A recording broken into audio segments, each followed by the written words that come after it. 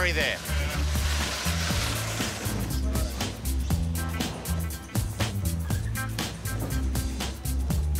Are you the owner of all of these trolleys? I am. One in five of the things we buy, we throw out. So I could just take one whole trolley. No, it's not going to end up in the bin. It's not going to end up in the bin? No, I promise. Into the bin. No, don't put them in the bin. Okay, I swear there's... No, not put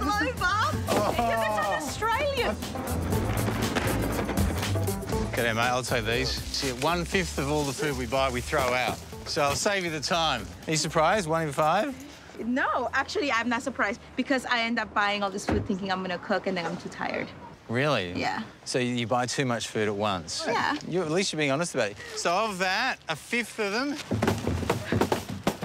in the bin. So how about I take out a fifth of the food? Ah, what are you doing? We're not average. We don't throw anything out. You don't throw anything out? Yes, oh, no. we do. Your carrots. I mean, they get a bit bendy, chuck them in the bin. I'll save you the time. Have you got a fridge full of these and then you throw them out? Because of past the day. Pass, pass the date, exactly, that's it. We're chasing you, madam. Do you think much of this will end up in the bin? No. What about bananas? No, they do go in the waste. You're right. They end up in the waste. That's right, into the waste. Don't. Oh, A third of our bins is made out of food waste. Come have a look at some food waste.